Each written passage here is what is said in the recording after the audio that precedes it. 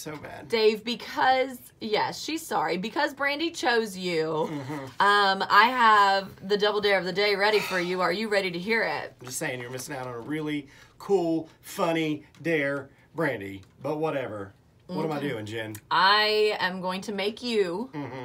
make your Facebook profile picture Oh no. your most embarrassing photo for Yeah. the rest of the day. Just for the rest of the day. You can change it tomorrow morning. You got 24 hours.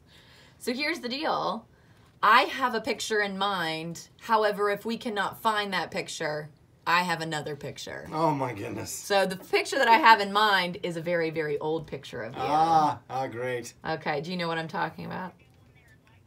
Oh, Oh, thanks, see? Brandy. Brandy will go and like the picture. Thanks for supporting. So, Yeah, so appreciate that. That can be the picture, the very, very old one, or if you cannot find that picture. Do you want to describe the picture that you're thinking of? Oh yes, um, you were in a family photo with no shirt on, and your pants, your pants were as high as Urkel wore them. Oh my gosh, that's ridiculous. Your pants touched your chest. Okay.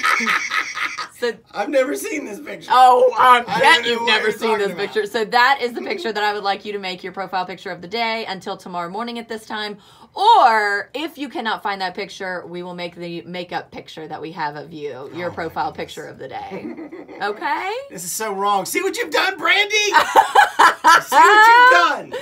I love it. Oh my Oh. Brandy, girlfriend, you rock for choosing Dave. And also, congratulations, you're going to Double Dare Live. I hate this game.